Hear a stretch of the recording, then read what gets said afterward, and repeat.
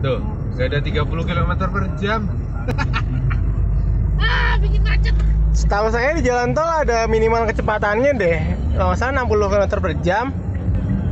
Kalau kayak gini gimana Pak Polisi?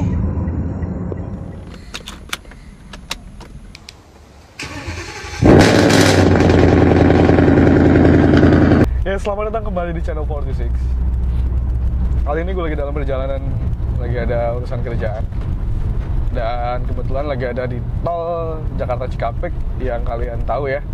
Tol Jakarta Cikampek itu jalannya mendayu-dayu sekali. Teng, teng, teng Alias jalannya banyak yang jelek. Udah gitu ya bagusnya sih udah mulai banyak perbaikan. Ya semoga terus berjalan. Jadi Jakarta Tol Jakarta Cikampek ini bisa kembali bener lagi enak lagi dipakai kayak dulu sebelum ada proyek uh, tol elevated.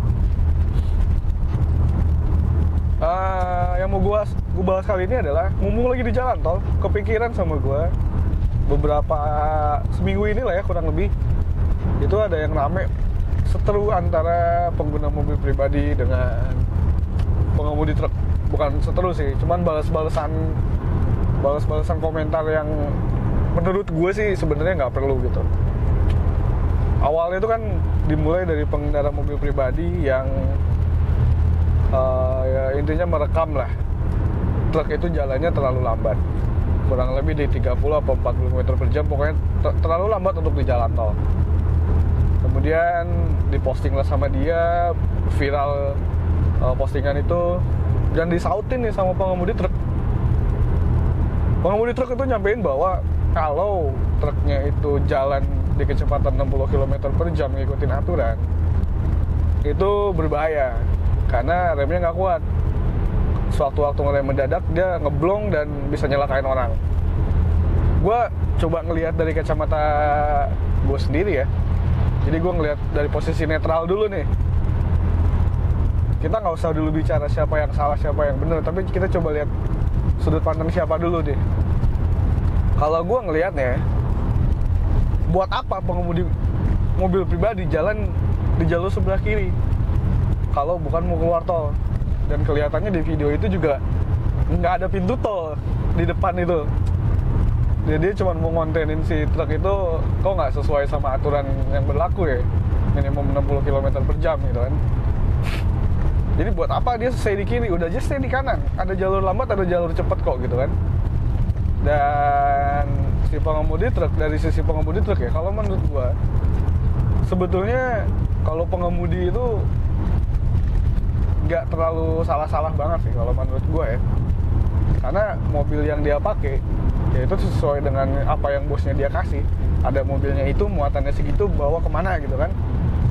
Nah yang jadi masalah kadang adalah eh, terutama di tol Jakarta Cikampek ya yang sering gue lewatin setiap hari. Itu pengemudi itu truk itu kadang ada di jalur 3 ada jalur 4 jalur 3 sih lebih sering banget. Ini gue lewatin kalau kalian bisa lihat truk semua ya kelihatan nggak kalau di tol Jakarta Cikampek itu jalur 3 itu udah pasti truk itu ada di situ. Kontainer itu pasti ada di jalur 3 1 2 3 di jalur 4 ya kita kendaraan pribadi dan bus. Bus itu sering banget di jalur 4 kalau di tol Jakarta Cikampek. Jadi udah, jal- udah jalannya jelek mobil mobil gede pada ke kanan gitu kan. Jadi kita agak kagok kadang. Tapi ya kita harus terbiasa juga sih. Kita kalau nggak ada polisi yang lagi patroli itu semuanya kayak bebas aja gitu. Ya itu kadang yang menghambat dan logika sederhananya adalah kalau si perusahaan ekspedisinya atau trackingnya itu eh kitnya ya uji kirnya itu atau uji kelayakan itu bener-bener sesuai SOP harusnya sih udah nggak nggak ada kendala kayak remblong dan sebagainya. Karena pengecekannya rutin ya kalau nggak salah enam bulan sekali. Kalau ngikutin eh, aturan uji kelayakan sebagaimana mestinya. Dan beban yang diangkut mobil itu kan ada kapasitas yang udah baku tuh. Maksimum sekian ton.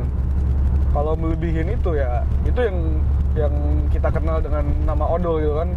Overload over capacity atau over dimension overload. Ya gitulah. Dan itu yang berbahaya gitu kan. Masalahnya banyak kadang wah nanggung nih udah masukin aja terus. Selagi masih muat gas terus. Jadi kadang itu yang bikin beresiko juga gitu nah terus gimana nih? Kadang orang suka salah-salahan kan? Ini salah truk ini salah pengemudi pribadi. Kalau menurut gua yang namanya di jalanan ini kan kita bicaranya di lapangan ya. Di jalanan berarti kan praktek di lapangan. Nggak mungkin ada aturan yang 100% baku dan bakal ditepatin sama semua orang tuh nggak ada kalau menurut gue ya. Terlebih di Indonesia. Jadi mesti ada rasa maklum dari semua pihak gitu loh. Ada di satu momen misalnya ada kendaraan. Ya kadang kesel iya wajar. Wajar dan manusiawi banget kesel. Misal lu lagi di jalur kanan nih kayak gini tiba-tiba ada truk masuk ke kanan pelan itu pasti kesel banget. Di situlah kadang mesti ada rasa maklum rasa waspada. Jadi kita nggak ngegas terus. Kita tahu nih jarak uh, mungkin 50 meter lagi atau mungkin 100 meter ya masih agak jauh. Atau bahkan lebih dekatnya 30-20 meter. Ada kendaraan yang tiba-tiba motong ke kanan ma- masuk ke jalur lo ya kita siap siap sedia aja buat ngerem ngurangin kecepatan gitu biar nggak nabrak. Karena di beberapa kasus uh, kebetulan di tol Japek juga dan sempat viral juga. Itu ya truk truknya salah dia pelan dan dia tiba-tiba masuk kanan. Tapi si pengendara yang nabrak itu juga jalannya kenceng banget di tol Japek cuy. Di tol Japek itu bisa dapat 80 tuh udah alhamdulillah banget ya dengan kondisi jalan dan ramenya kayak gini akhirnya terjadilah kecelakaan itu salah-salahan dan segala macam lah karena bagaimanapun juga yang namanya kecelakaan lalu lintas biasanya diawali sama kelalaian kesalahan dari salah satu pihak gitu kan. Nah persoalannya adalah kalau kita bisa melihat itu salah dan itu beresiko jangan diterusin. Kita posisinya bisa menghindar ya hindarin gitu. Karena yang namanya di jalan raya bukan masalah benar atau salah kita kadang ngotot ego oh gue bener kok. Terus tapi kecelakaannya kejadian gitu kan. Dengan berasumsi bahwa gue bener mau kecelakaan lapor polisi silahkan ya iya bener atau salah memang bisa diperdebatkan gitu kan. Cuman yang namanya di jalan tujuan utama kita adalah nyari selamat. Jadi lu mau bener atau enggak yang penting selamat aja dulu. Lu mau bener atau lu salah tapi lu punya backingan juga percuma. Yang namanya udah kecelakaan udah rugi berarti jadi ya alangkah baiknya ya udah yang penting selamat aja dulu. Gondok gondok ya nggak apa-apa. Yang penting gondoknya itu lu lampiaskan tetap di dalam kabin mobil lu aja nggak usah buka jendela dan teriak-teriak. Mancing emosi orang jadinya kan. Gue juga sering kesel wajar kok. Cuman ya udah gue nikmatin sendiri aja rasa kesel gue gitu. Jadi gitu. Ini kayak depan gue persis nih. Itu ada mo- mobil bus. Dan jalannya kalau menurut gue terlalu pelan untuk ke jalur kanan ya. Tapi ya udahlah.